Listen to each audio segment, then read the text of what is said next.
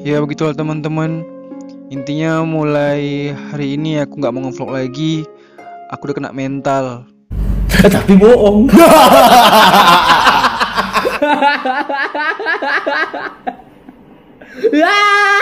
Itu tolong. Esoknya sakit hati banget sih. Ada pegerangan sih kawan.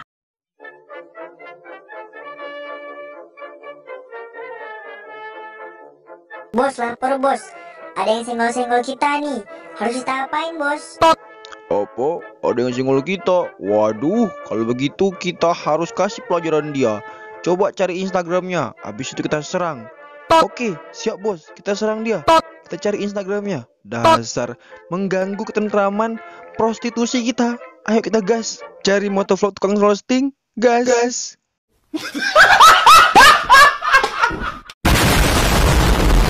Hey everyone, welcome back to Wakamoro Motovlog. Ini the real, the real motovlog no settingan, anjay.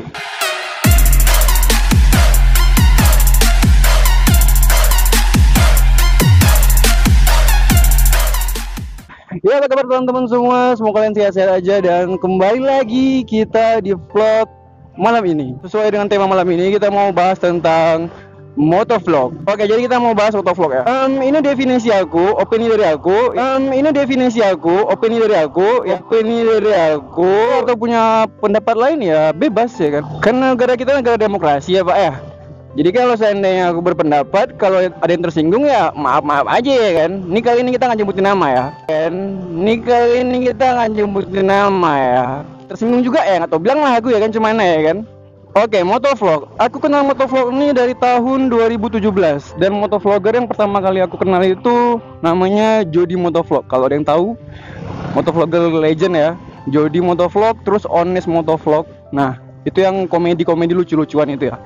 Selama aku nonton motovlog dari 2017 sampai di 2022 ini, di motovlog itu aku perhatikan udah mulai banyak pergeseran ya. Jadi yang kelompok pertama itu the real motovlog, motovlog yang benar-benar real motovlog. Jadi kerjaan mereka itu adalah ngevlog, reading-reading bareng teman-teman, nyoret, San Mori, naik ride itu gitu-gitulah ya kan. Review helm, review motor, penting isinya tuh motovlog yang real, benar-benar sungguhan gitu. Kayak ini baru-baru ini nge-review sirkuit Mandalika atau pergi touring bareng ke Mandalika itu the real motovlog ya.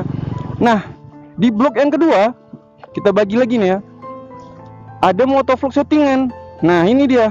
Ya, settingan itu sebenarnya masalah nggak sih bang? Ya bagi aku sih nggak masalah ya. Kalau settingan itu menghibur, kayak kan nggak semua orang gitu ya suka dari motovlog. Pasti ada orang suka motovlog yang bercanda-bercanda gitu kan. Ada juga orang suka motovlog yang bucin-bucin gitu kan. Ya dengan adanya motovlog settingan ini jadi lebih berwarna gitu kan. Terus masalahnya di mana bang? Nah, di sini masalahnya boy, ya kan.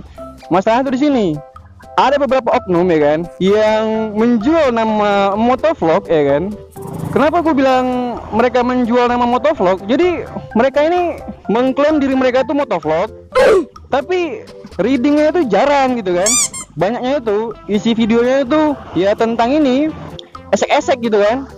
Ya nggak jauh-jauh dari colme gitu kan, coli gitu kan pokoknya gitu gitulah berbau esek-esek gitu modal cuman helm full face sama pasang action cam di helm terus bawa cewek ke semak-semak terus ceweknya suruh ngangkang terus dipoto jadi dijadikan thumbnail gitu kan.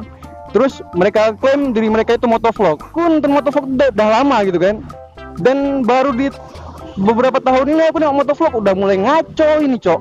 Pakai helm doang sama action cam terus bawa cewek ke semak-semak atau masuk ke kamar cewek terus dikasih thumbnail judulnya colmek atau enak-enak itu motovlog dari mana cok?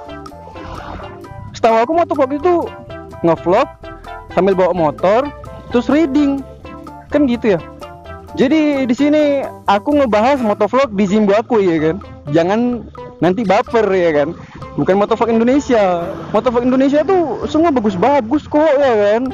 Settingannya udih bagus-bagus. Nggak ada gitu yang kayak tadi ku bilang di semak-semak itu di Indonesia nggak ada cowok jadi kalau di Indonesia tuh semua tuh drill motovlog lah pokoknya ya. Drill drill motovlog ya di Indonesia ya. Intinya gitu lah. Jadi jangan tersinggung nanti kan um, babunya gitu nelpon bos besarnya kan halo bos besar subscriber besar eh, anda di ghosting nih. Eh di ghosting nipu dong. Anda ini di roasting ini sama subscriber kecil. Langsung satu squad turun ya kan menghujani Instagram ya. Seperti di depan tadi lah ya kalian, kalian tengok ya kan. Masa subscriber kecil nyenggol subscriber besar? Ya emang nggak boleh.